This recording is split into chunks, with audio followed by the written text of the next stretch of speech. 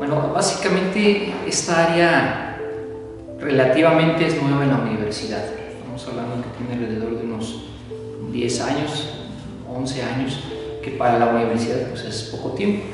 Y desde el año 2013 aproximadamente 14 empezó a tomar más fuerza. De hecho, eh, el señor rector nos ha, nos ha encargado que reestructuremos toda esta área de la universidad en función de que los alumnos son nuestra razón de ser.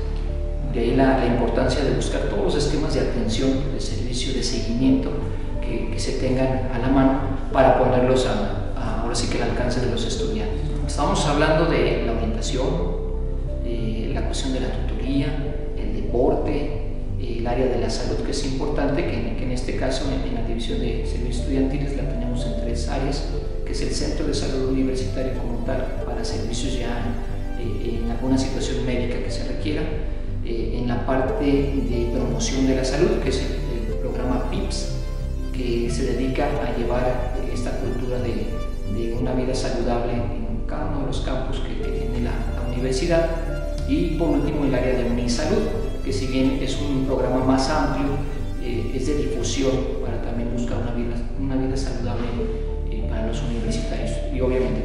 los alumnos, pero es más de campañas de difusión y, de atención, sobre todo también en la parte del seguro facultativo, que ahorita lo tenemos al 100% de los estudiantes como uno de los beneficios que tienen al ser universitarios. Pero en específico aquí en la división de servicios estudiantiles va en cuestión de buscar toda esa parte de la formación integral de los jóvenes.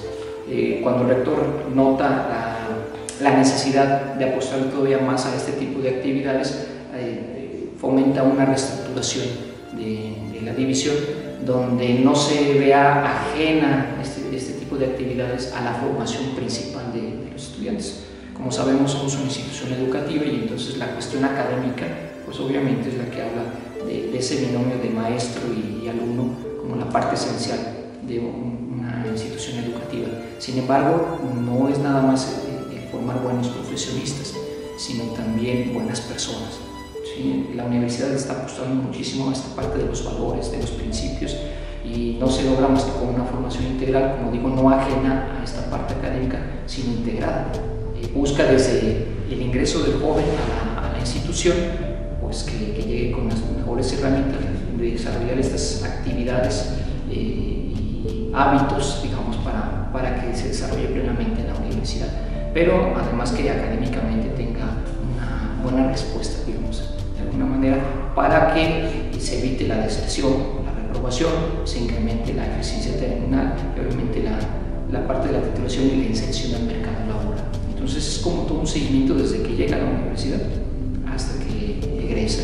Y esto ayuda a la orientación, obviamente de la mano del programa de tutorías, que son los principales actores en función de detectar las necesidades que tenga el joven en la universidad.